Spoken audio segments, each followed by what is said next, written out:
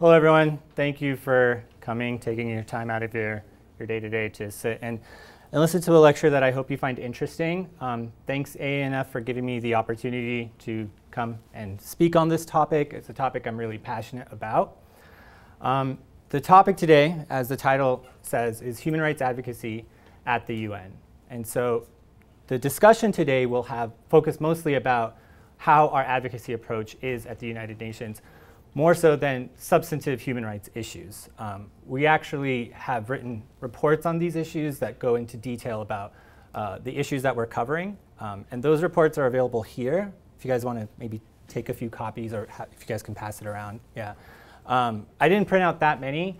Uh, we usually post it on our website. Our website is down at the moment. Uh, we're redoing it, but um, I just printed out a few copies so you get an understanding of what we're trying to do um, and an understanding of the issues that we're focusing on.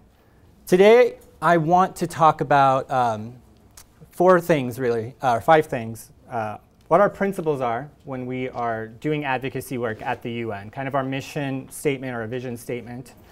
Um, our approach in our advocacy, it's more of a conceptual understanding of what we kind of are trying to do at the UN. Um, uh, an overview of the kind of select programs and activities we have done at the UN so you can get a specific understanding of how we're applying these principles and how we're applying the approach. And then uh, kind of a frank assessment of uh, what the impact of all of this is. I know a lot of people have asked me what the impact is. And so um, I hope to address those issues today. So our principles, our principles are really three-pronged. Um, first off, it's rights-based. So what we're doing at the, at the UN is advocacy from a human rights perspective. And as I state here, we're pursuing solutions from a human rights perspective. We're not pursuing solutions from a humanitarian perspective. We're not pursuing solutions from a political perspective. We're looking at these human rights that are afforded um, to all people internationally and doing a frank assessment of the situation in the countries in which uh, Assyrians live and providing um, solutions within the context of human rights. And at the same time, we're uh, leveraging the obligations states have to advocate for reform in law and policy. So all states are obligated to ensure the, the human rights of the citizens that, that live in their country. And so we're using those obligations to advocate for reform.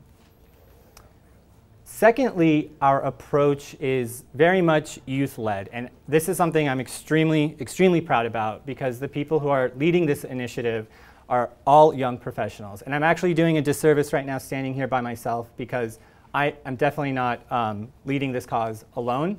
There are a lot of Assyrian youth um, that from actually throughout the US that are participating in this working closely with me on these issues.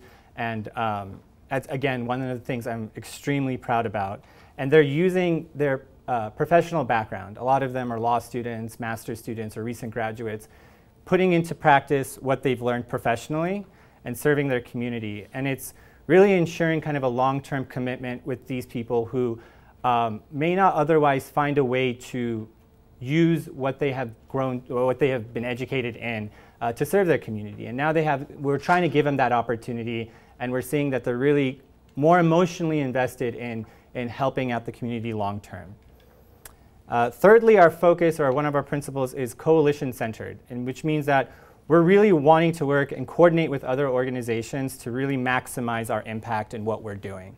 And this means working with organizations both in Iraq, outside of Iraq, Assyrian, and non-Assyrian organizations. And we really are starting to see ourselves as being a facilitator of information. Um, we are an American-based NGO. Uh, we are coming from a perspective of many of the people were born in the US. So we feel more comfortable working closely with organizations that are dealing with the situation on the ground, grassroots organizations, and facilitating the work that they do and bringing it to the attention in the international arena and having um, a lot of the key actors at the UN take notice of the great work that they do. So we're more and more seeing ourselves as facilitators in this arena. And we've worked closely with groups like the Unrepresented Nations and Peoples Organization, which is an NGO based in Brussels um, that, serves the, uh, that serves stateless nations throughout the world. We've been working closely with them since the early 90s and more so now as we're really trying to leverage what the UN has to offer. Um, they've been able to work closely with other stateless nations, like you know, similar to Assyrians, and we've learned a lot of positive practices um, successes that they've done, and we're trying to translate that um, to, for our own community here. Um, we've also worked very closely with Hammurabi Human Rights Organization. Uh, some of you may be familiar with that uh, group as being uh, the group that publishes the, the kind of uh, periodic reports of the situation in Iraq. Um, they're a very well respected uh, human rights organization in Iraq that serves uh, not only the Assyrian community but um, all of Iraqis. They're well respected in Iraq. They actually recently was, were awarded a Human Rights Defenders Award by the US State Department in 2012 uh, for their work um, defending human rights, and they were one of two organizations uh, that had done that, uh, that had received that award. We've also worked with the Nineveh Center for Research and Development. It's another organization that's based in the Nineveh plain that provides a lot of really interesting statistics uh, and data about the situation um, in the Nineveh plain. So throughout my presentation, I'm going to focus uh, on these core principles, um, kind of show you how we're trying to integrate them in what we're doing. Uh, but next, I want to talk about our advocacy approach. Um, and actually, before I do, I'll go back to this picture because this picture kind of epitomizes um, our principles. Here we have um, myself. Uh, standing to the far right is um, Mr. Luis um, uh, Marcos, who is the vice president of Hammurabi Human Rights Organization. And he's also a, a member of the District Council of Bakhdida or Karakosh we were able to fly him in um, from Iraq to Geneva to participate in this conference that I'll be speaking more about in my presentation. Um, next to me is Renya Hanna, who's also um, from Iraq, uh, who works with um, uh, Mikhail Benjamin, who is in the, the green shirt over there, with the Nineveh Center for Research and Development. We were also bring, able to bring them from Duhok to participate in this UN uh, forum in Geneva. And to the far right, we have um, George Stifo, the um, American representative from the Assyrian Democratic Organization. Our advocacy work, as I'll explain more, focuses not only on Iraq, but wherever Assyrians are indigenous to.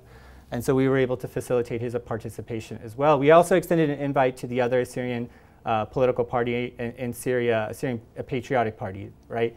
Um, unfortunately, he wasn't able to attend. But, and in the middle, we have another Assyrian youth, Jennifer Babai, who's studying international law in DC, who was able to uh, help facilitate um, and participate in that conference. So this picture very much epitomizes these core principles that were kind of the focus of what we're trying to do uh, at the UN. Um, our approach in terms of our advocacy is two-pronged. Um, the first prong is global and thematic, meaning that we do advocacy um, in, on issues that are looked at internationally, not just within a specific country. We want to participate in the dialogue on issues that concern um, Assyrians. So these issues that we've identified include indigenous rights and minority rights, uh, religious freedom, uh, and the rights of the displaced. Um, we also tackle a lot of other uh, relevant uh, concerns, including uh, discrimination faced by women, um, the situation of uh, children, economic, social, and cultural rights, and political rights as well, but always within the context of, of these three issues that we uh, adamantly pursue in our advocacy work. Because um, we've kind of identified these three issues as being um, the kind of frameworks in which Assyrian rights are most infringed. Um, we also attend several conferences in which these issues or these human rights themes are pursued uh, including the Forum on Minority Issues, uh, Indigenous Issues, and consultation with uh, the UNHCR, which is the UN's refugee agency. And I'll speak more about um, our participation uh, in these UN conferences in, uh, in later in my presentation. But our goals when we're trying to participate, when we're working uh, at the UN, um, include uh, influencing the development of human rights norms and principles. So what that means is every time one of these conferences take place, at the end of it, there's some sort of document that comes out, a report, a list of suggestions, uh, a list of recommendations. And these recommendations and suggestions um, influence the ways in which uh, countries are working to defend and promote human rights. And we're eager there to make sure that whatever recommendations come out and what kind of kind of solutions that are put forth take into consideration the issues faced by Assyrians um, in the Middle East. And that's one of, one of our key aims in participating in these conferences. And I hope to have illustrate that better um, later on in my presentation. The second is that we definitely are trying to raise the profile of issues concerning Assyrians at these conferences. We've noticed there's a huge dearth of information and knowledge about the situation of minorities in, the, in these countries, uh, let alone Assyrians. So we find it um, extremely important that when we're there, uh, we provide the knowledge that uh, a lot of these uh, kind of UN experts are eager to learn about when uh, discussing issues um, uh, concerning human rights. and lastly, these forums have served as a great opportunity for us to network with other like state delegates who want to learn more information about what, what the situation of Assyrians are, um, from UN officials who may be working in countries where Assyrians uh, inhabit in the Middle East and have been serving Assyrian communities, um, and other international organizations like Amnesty International or Human Rights Watch that are regularly participating in these conferences and regularly writing about the situation of Assyrians. And so we're there trying to network with them and influence sort of the discussions that are, are the, the work that they're doing as well. The second approach um, in our advocacy is country specific. So, what we're trying to do is look at the human rights situation of Assyrians within a specific country rather than talk about issues uh, concerning Assyrians internationally. Uh, and the countries that we're looking at are the countries in which Assyrians are indigenous to, including Iraq, Syria, and Turkey. Uh, obviously, with the situation in Iraq, that's given most of our attention, um, but we have worked and we will continue to work on uh, human rights issues in all three countries. Um, and by virtue of being a, a, member state of the United Nations, these countries and all 193 uh, member states are subject to periodic reporting of their human rights record. And um, at the, at, during these reporting cycles, uh, organizations like AUA, like Human Rights Watch, have the opportunity to influence the discussion by submitting reports and by uh, providing statements. Um, and I'll speak about more about that later on in my presentation as well. Um, these reporting cycles are um, kind of, there's two ways of doing it. One is through treaty bodies, which is uh, led through independent experts. These are attorneys, these are judges, these are people who are experts in their field of human rights that are elected to monitor the human rights record of all 193 uh, member states of the United Nations um, with the aim of providing kind of constructive feedback on how they can better uphold their obligations. This process is an independent process. It's not influenced by the, the politics of, of uh, the member states. But on the other hand, we have the Universal Periodic Review, which is another mechanism in the UN that also does uh, periodic reporting of, of the member states of the UN. But it is a political process because it's led by the Human Rights Council, which is made up of 47 member states um, which is made up of 40 mem 47 member states. And they uh, also lead a similar kind of review uh, as the treaty bodies, but it is, again, a political mechanism. So these are states that are uh, driving the dialogue. And our goal in participating in these is, again, to ensure that the issues affecting Assyrians are um, raised and accurately discussed. So when their uh, state delegate participates, let's say from Iraq on one of these reporting cycles and makes a factually uh, inaccurate statement about the situation of minorities or the situation specifically of Assyrians have been addressed. Um, and we do that through the reportings that were passed around. Um, we also advocate for the adoption of relevant recommendations. So after the end of these sort of uh, reporting cycles, these committees issue recommendations on how the state can better uphold its obligations. And so we try to craft recommendations that are reflective of the interest of Assyrians um, in that country. Lastly, um, we network again. These are always great networking opportunities to engage with all these different stakeholders, all these different actors who are working on these issues and um, kind of see how we can coordinate our efforts uh, going forward. Um, let's see this picture.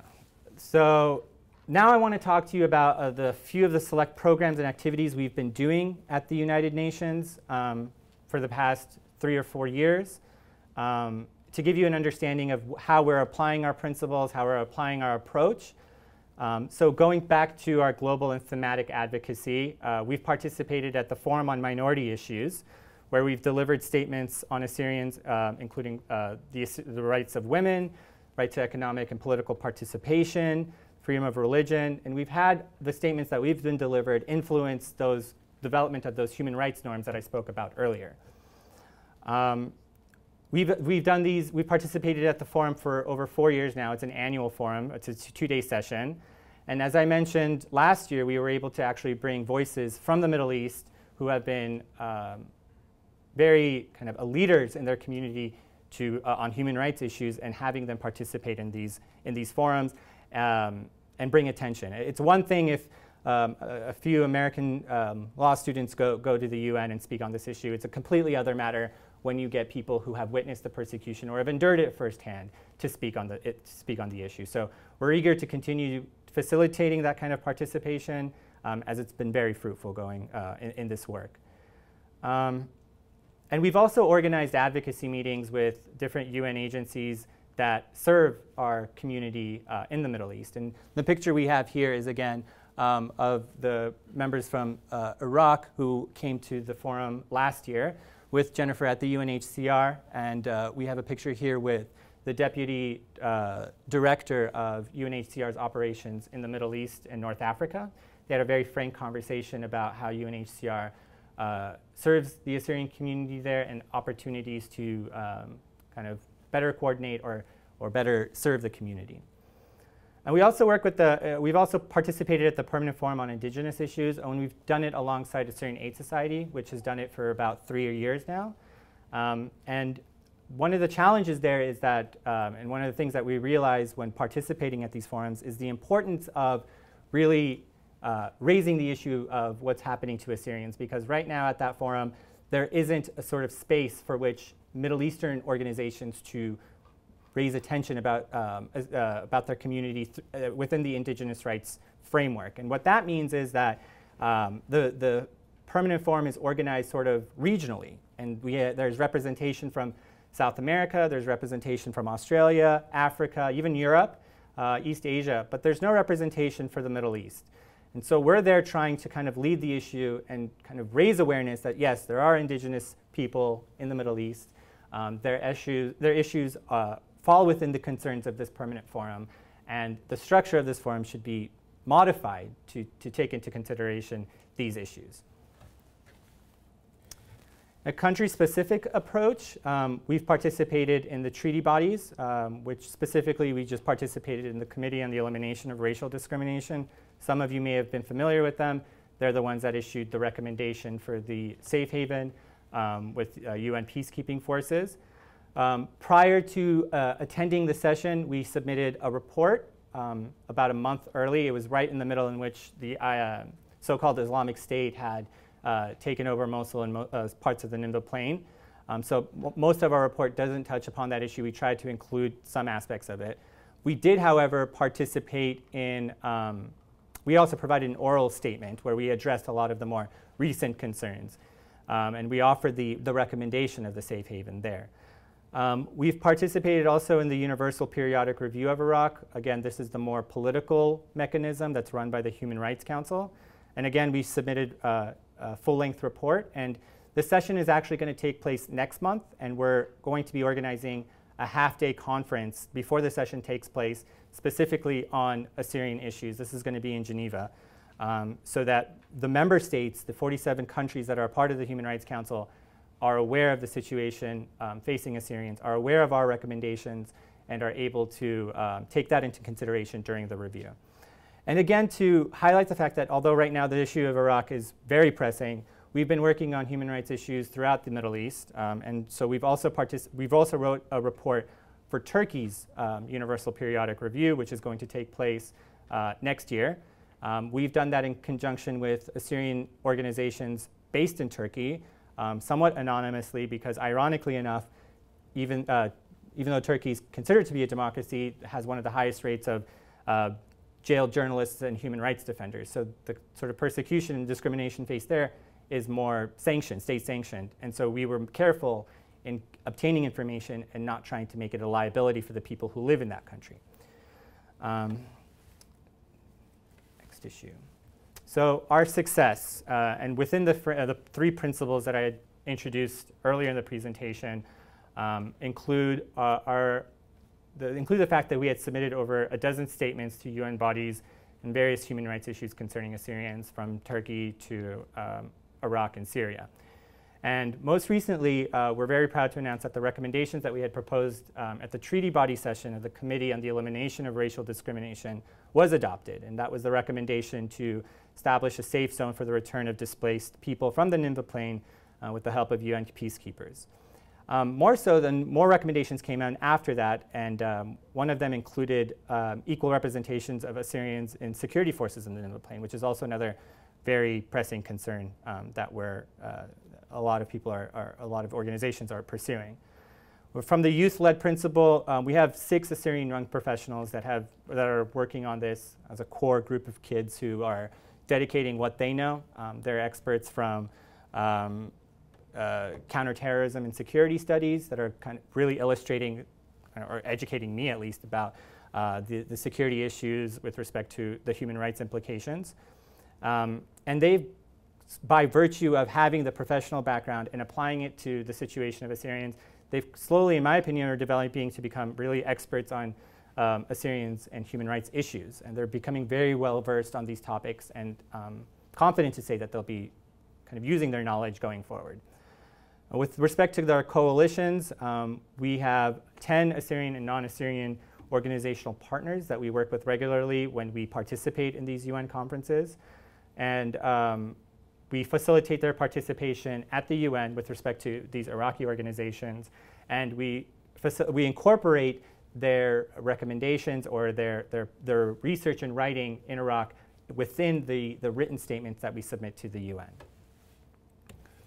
But what does this all mean? And um, well, how does it have an impact at the end of the day? So there are opportunities to influence change um, through these UN advocacy methods. Most importantly, it legitimizes our recommendations and our policy solutions. When we have an independent body comprised of 18 experts from around the world unequivocally saying that a safe haven needs to be established, that is legitimacy. That definitely bolsters our claim. It makes it apolitical. It makes it something that is human rights focused. And, it, and I'm sure it's going to make it easier when you translate that to advocacy in DC and all these other political centers. Um, and it mostly uh, mo uh, also ele elevates the profile of Assyrians internationally um, and among po influential policymakers, NGOs, and the media. Um, I can say um, without equivocation that a lot of the actors at the UN have no idea what the situation of Assyrians are. When we were at the UN in Geneva last week, we uh, had to actually educate that Iraqi Christians are an ethnic minority as well. They speak a different language. These are judges, these are lawyers, these are people who um, very, you know, very professional and established individuals, but they just have to deal with so much information that it's not expected for them to know everything about everyone, and that's why we're there. Um, and so, um, again, by being participating in these conferences and participating in these mechanisms, we're able to kind of raise issues and, and bring certain attention to light. But there are limitations. Uh, people have been very critical of the UN, and rightly so. It's very slow-paced and very bureaucratic. Um, you can kind of get that sense by just the way I've been describing the mechanisms. It's extremely, extremely bureaucratic. Um, and it's extremely slow paced. These human rights reporting cycles happen from two to six years in between. Um, we were extremely fortunate that the um, Iraq's reporting cycle took place in August, you know, just a few weeks after what had happened by the Islamic State. But um, otherwise, you know, the opportunities to engage in that dialogue may be so far removed from a certain situation or a certain atrocity um, in which we can't really utilize these platforms effectively. Um, and although we can have these experts uh, recommending the establishment of a safe haven, and although their voices um, weigh heavy, uh, action at the end of the day depends on the political will of the member states. The UN is nothing more than 193 states coming together.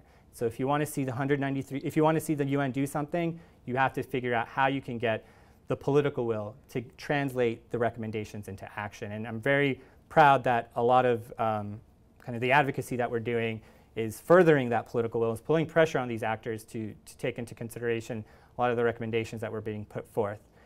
And more recently, there's kind of a new development that a lot of the action that does take place takes place through consensus. Um, and it's really hard to build consensus with political bodies. And so when there is a resolution put forth, it's usually um, a resolution that all of the members of a certain body can agree upon that always dilutes it. That always makes it weak. Where uh, we don't have the luxury of well, having a resolution that only those that are sympathetic to our cause adopt. Um, we're kind of at the leisure of everyone who sits on whatever body uh, is mandated to, to take action, whether it's the Security Council or the Human Rights Council. Um, so that's a, little bit of an overview of what, what the impact of all of this is, and um, I just want to leave it open for questions and answers.